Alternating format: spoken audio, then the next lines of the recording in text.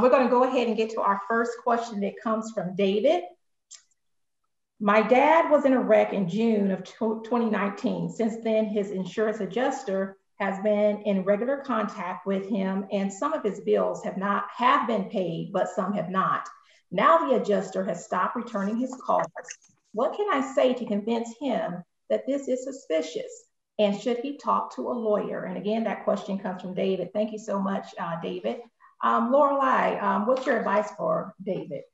Yeah, I think uh, I think it is to the point now where your dad should consider talking to an attorney. Um, the reason I say that is because the statute of limitations in the state of Mississippi is three years. And so, based on the facts that the wreck happened in June of 2019, you're you're coming up on what two years now, and so um, it's possible that this adjuster on the other side is just sitting back waiting for that clock uh, to keep ticking and for that time to run out. And so, I think he should talk to a lawyer sooner than later. Um, you know, a couple other things to consider are if he has unpaid medical bills, it's possible that they're being reported to the credit bureau. This could be affecting him in other ways that um, haven't really shown themselves yet. And so the sooner you can get an attorney on board that can possibly get a lien on a file from, from the uh, medical providers, uh, the better. Um, you know, another thing to also consider that, that we see quite often is insurance adjusters change. They change a lot. And Harry probably sees this all the time, but we might start out with a file and be talking to one person. And then six months later, we call that person's nowhere to be found. And now it's a different person involved. And so it could be something, you know, just a new person involved and your dad hasn't really connected. But I, I would. I would get an attorney to watch that statute limitations from running out, and that would uh, protect you. And one of the things that comes to mind, um, you mentioned uh, uh, waiting for, I mean, it could be a new person involved. Did, would the, what should this uh, person be notified that there's a new, new person handling their case?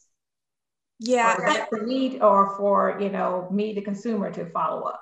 You, you know, in a perfect world, you would expect so, right? You would expect that they would let you know, hey, you know, adjuster Jones is no longer with our insurance company, and the new adjuster assigned to your file is adjust, you know, adjuster Jane.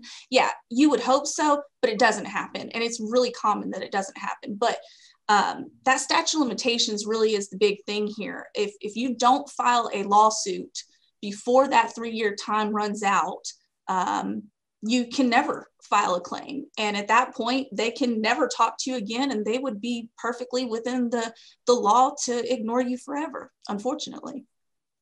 And I would um, imagine when you talk about, you know, uh, when we talk about bad faith on the show um, from time to time, you mentioned the statute of limitations running out and possibly the adjuster just kind of waiting for that time frame to run out. Does that fall up under, I mean, was there any kind of recourse? Um, uh, let, we'll let Harry uh, share um, his thoughts around that.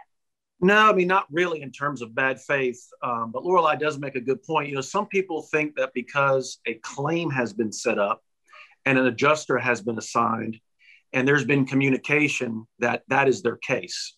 And it is not their case. Um, you know, a, a, lawsuit, a formal lawsuit, a complaint has to be filed in court. That is what holds the statute of limitations, not the fact that there's a claim and not the fact that you're dealing with someone. And a lot of people don't really understand that. And the other point that was made is, you know, you're going to have medical bills coming in after this length of time. You don't want any problems with any creditors coming after uh, after you, and you certainly don't want someone to try to lien the, you know, put a lien on your case when it comes time to settle. So, you know, I think being June of 2019, you should contact a lawyer. It's not bad faith if they don't advise you that there's a statute coming up. That doesn't really qualify for that. That's really something that you need to know about, and you need an attorney to file on your behalf timely. All right. So I guess I'm taking away from his question here is to make sure you follow your, you know, follow your case. Just don't leave it up to um, someone to, you know, keep you updated. You know, we have that responsibility on our own.